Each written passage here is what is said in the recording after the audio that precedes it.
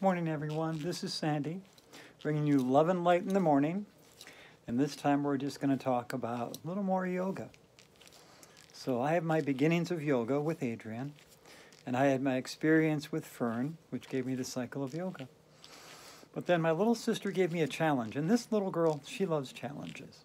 And her challenge was simple. She said, Sandy, I want you to get out of the house and do something that's not shopping. Now, I admit I love to shop. I'm a really thrifty shopper and I love shopping. But I decided I, what I really wanted to do was get out of the house and do yoga.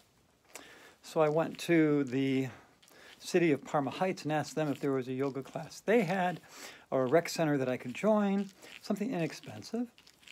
And they suggested I go to the Brooklyn Rec Center.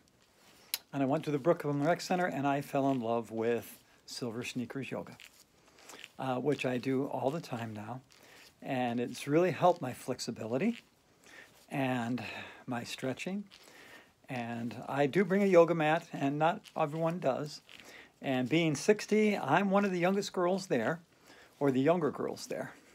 And I find it an honor and a pleasure to work and meet and be with them. So, to all my friends at Silver Sneakers, yo, hi, Glad to see you. Gonna see you again. See you again soon. Bye. And don't forget, girls, you find your own great exercise and thrive on.